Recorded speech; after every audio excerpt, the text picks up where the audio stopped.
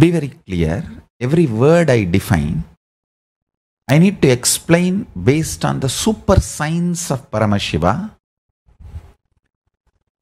It is not the confusion of principles, theologies, theories stolen, half digested, plagiarized, coveted,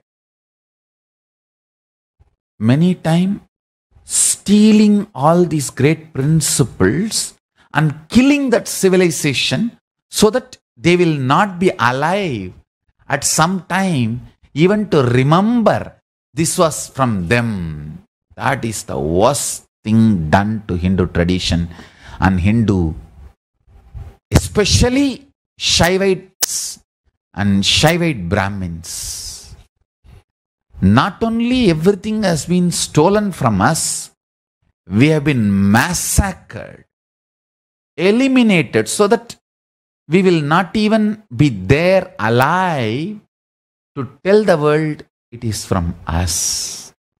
Steal, plagiarize, eliminate, destroy any evidences left, and if somebody remembers, kill them.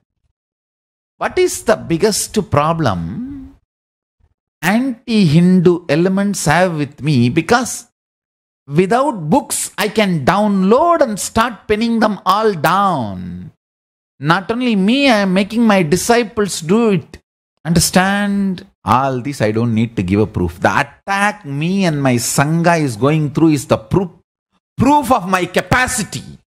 Nothing else is needed. My enemies are already proved. Trolls, you guys are fools if you are asking me for proof. my enemies know my capacity. That is why they are attacking.